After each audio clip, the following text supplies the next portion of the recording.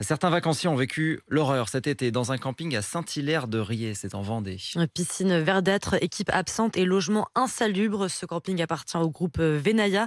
Deux campings du groupe ont déjà été épinglés par l'Agence régionale de santé après plusieurs plaintes. Dans celui-ci, l'ARS a demandé en début de semaine la fermeture de la piscine et la tension est montée d'un cran. Le responsable salarié a été roué de coups par les vacanciers.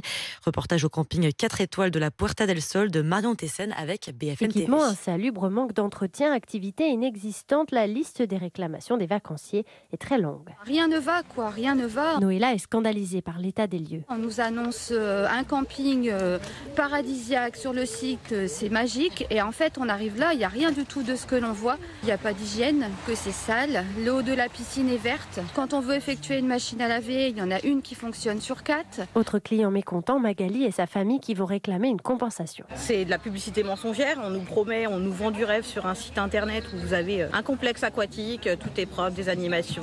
C'est la cata, on n'a jamais vu ça. Les tensions sont telles que dimanche dernier, le responsable salarié du camping a été roué de coups et il n'y a pas que les vacanciers qui sont inquiets. Cet employé, qui souhaite rester anonyme, a également constaté que le camping était en quelque sorte laissé à l'abandon à tel point qu'il s'inquiète pour son salaire à la fin du mois. Alors les 6 heures supplémentaires pour les animateurs, elles n'ont pas été payées pour l'instant.